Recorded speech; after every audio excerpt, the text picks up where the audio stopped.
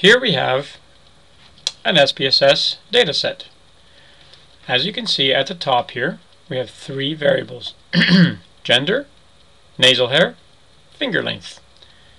So those are the three variables, three characteristics that were either asked or collected from individuals. The individuals are numbered on the left side here. So as we go down, we can scroll down. I'm scrolling with the roller on my mouse. I can see that there are 34 people, 34 individuals. It doesn't always have to be people. I'm assuming it's people since we're dealing with gender, nasal hair, and finger length. Uh, that were either surveyed or that were measured in some way. At the top, we have all the various functions, uh, the function titles that we can utilize in our SPSS. At the bottom, and these are here, we have shortcuts. These are some shortcuts that have been chosen by SPSS to be more common. At the bottom, we also have the different views. We have data view and variable view. I'm going to click on variable view and you'll see a totally different view. So if you open up a, a, a data set and you see variable view, you might see something like this, and that doesn't look like a set of data. So then you simply scroll to the bottom and click on data view to get that. Let's explore variable view for a minute. In variable view, what you see is you see the name of the variable, the type, width, the number of decimal places, a label. These labels were created by me the values. Again, I have to set these. How do I define missing values? The number of columns, alignment, and what type of measure or what type of data do we have? Well, we know that gender is a categorical variable. So I'm going to click on here and we're going to change this. It's not ordinal, it's not nominal. In SPSS parlance, scale means measurement data. So this is a nominal variable. Nasal hair, well, we need to take a look at how we've defined it. To take a look at how we've defined it, because it could be length of nasal hair, and that would be a measure measurement variable. So we're going to look at under the values. Click here, and what we can see is that's none, some, and extensive. So that is an ordinal variable, because there's order there. Now we go back here and we go back to data view. So we can see zeros, zeros, ones, twos, zeros, and ones, but we don't, in data view, we don't know what these mean. And remember there are value, value labels in variable view, and I can go to see those labels visually when I'm in data view by going to view and to value labels. So now we see that the first 19 people on this list are male, the rest are female. This male had no nasal hair and had a finger length of 7.2. This male had no nasal hair and had a finger length of 8, and so on. So we can go through each individual case and see what that individual case had, what characteristics that individual case had. But I'm not going to do that now. I'm going to do an exploration. Most explorations that you're going to do with SPSS go, you will either be using Analyze or Graphs. Graphs gives you a full list of graphs here. I'm not going to go into that right now. But a quick exploration is usually done best by going into Analysis. And we're going to go through the three typical ones uh, when you're looking at variables individually are frequencies, descriptives, and exploration. So let's look at a quick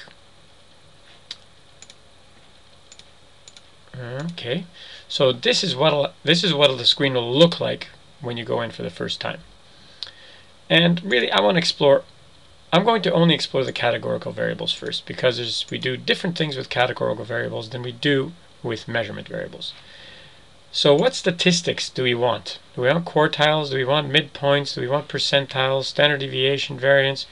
All of these here are not useful for us with categorical data. So I will ignore those. We'll continue without selecting any. There are some charts that might be useful. bar charts, pie charts. Those two would be useful for us. So let's go with bar charts. Which values do we want? Do we want frequencies? Do we want percentages? Well, it's a that's a toss-up here in this case, so we'll just go with we'll stay with frequencies. And we click on OK.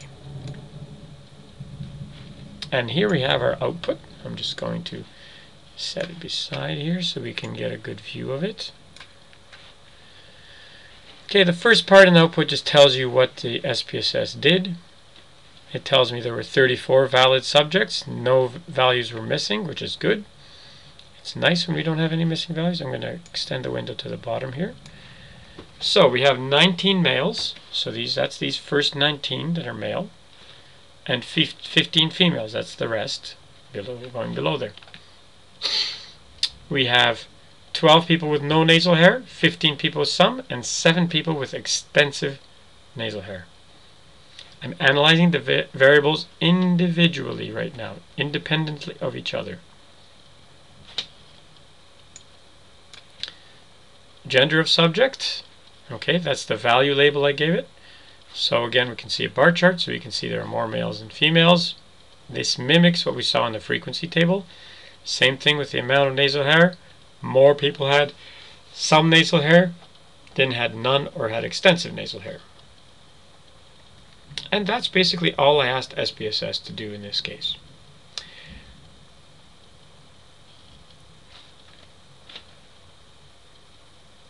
Now, I'm going to minimize this. So I'm going to save this. This is going to be saved here.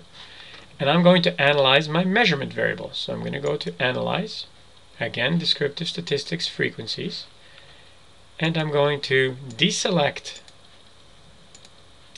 the categorical variables and keep or select the length of the index finger because I do want this to analyze this as a measurement variable. In this case, frequency tables doesn't make sense. Only in rare occasions will it make sense. So when you have a measurement variable in the box here under variables, you will deselect frequency tables, otherwise you'll get some nonsense. Statistics, we do want statistics here.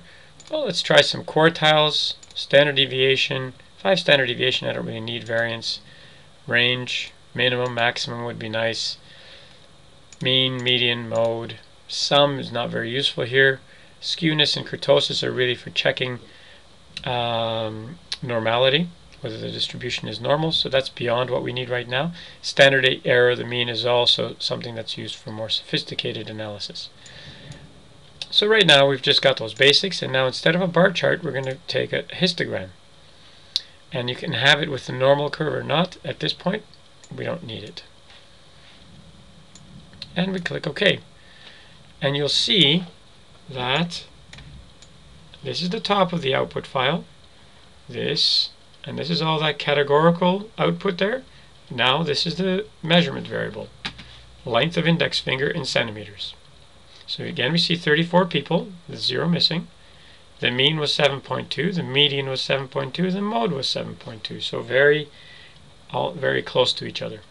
Standard deviation is 0.6, range is 3.2, minimum value is 5.5, maximum is 8.7. And this is what the uh, histogram looks like. And so you can see we have a very high number right beside the 7 here. And then it falls off to the left, sorry, to the right and to the left. Which is what you'd expect. You'd expect fewer people with very long and very short index fingers. And a great majority of people with uh, in a narrow range. So we've now explored these two, these three variables, the two different types of variables. In the next video, we will look at combining the two.